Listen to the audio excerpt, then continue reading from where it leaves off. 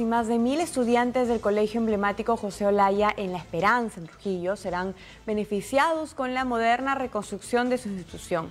El presupuesto asignado es de 66 millones de soles.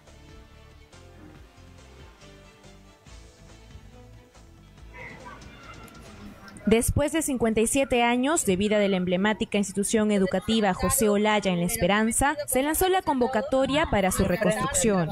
Este colegio alberga 1.600 alumnos entre cuatro niveles estudiantiles. Porque se ha subsanado todas las observaciones y ya entró la etapa de licitación. Vamos a esperar este, cómo se desarrolla este, esta, esta etapa, estar pendiente del postor que gane, poder exigirle que entregue en el tiempo eh, que establece este, la cláusula de de la licitación y también con los materiales y la calidad que se requiere.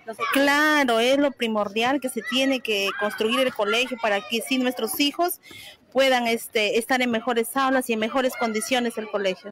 La infraestructura del colegio contará con tres pisos. Según el expediente técnico, el presupuesto de la obra es de 66 millones de soles y deberá ser entregado en 24 meses. Este colegio va a tener este eh, material en todos los niveles, primero, segundo nivel, creo que también se, ha proyectado un tercero, coliseos, eh, va a tener un ambiente especial para los niños de inicial con su laboratorio y así cada, cada nivel va a tener su laboratorio, un coliseo muy amplio, muy bonito. El proyecto surgió en el 2019, pero por la emergencia sanitaria se paralizó. La presidenta del Consejo Regional de la Libertad, Verónica Escobal, aseguró que se vigilará el cumplimiento de los plazos de construcción de la empresa ganadora. 6 de la mañana con 17 minutos y más de un centenar de envoltorios con pasta básica de cocaína